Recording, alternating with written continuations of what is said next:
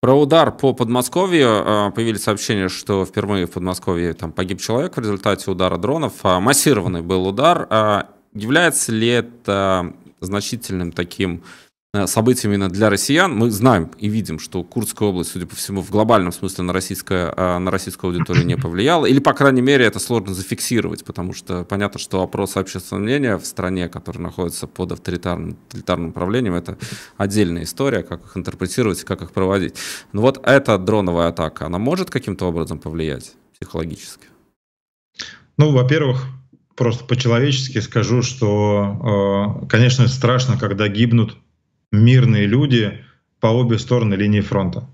И когда в гражданский дом, где живут самые обычные люди, прилетает военный дрон и разрушает, и там погибает там, женщина, там получают ранения дети, это страшно, это ужасно. А, такого, в принципе, быть не должно. А, я не знаю, это была ошибка телепилота, это было преднамеренное действие какого-то конкретного телепилота, чтобы отомстить, например, за погибшего близкого человека на войне.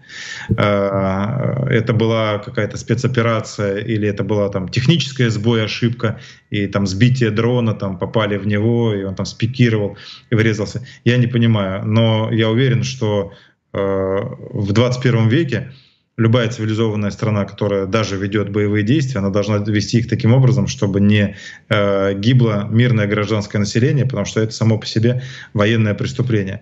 И я сейчас не пытаюсь каким-то образом уравнять, приравнять Украину и Россию здесь, но для объективности здесь одобрение этого э, вот этого страшного, это тоже трагедия э, не должны гибнуть мирные э, жители. А изначально, конечно же, война она уносит жизнь не только военных, но и жизни э, мирного населения. Поэтому мы выступаем за скорейшее прекращение военных боевых действий, за скорейшее освобождение оккупированных территорий и возврат российских военных домой потому что ну, в противном случае будут гибнуть и военные, которые тоже на самом деле не должны погибать. Это такие же мужчины и женщины, как мы там с вами, э, которые просто защищают, например, в Украине свою землю.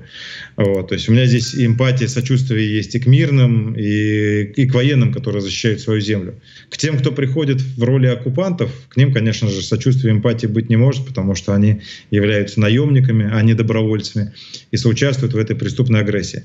Что касается вашего глубокого вопроса, может, могут ли подобные э, э, трагедии э, иметь какой-то эффект психологически на россиян? Ну, конечно.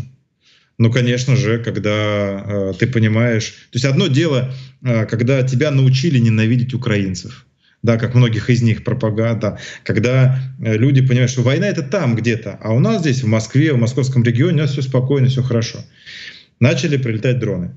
Э, начались вот эти вот смерти. Конечно, это на многих людей повлияет психологически.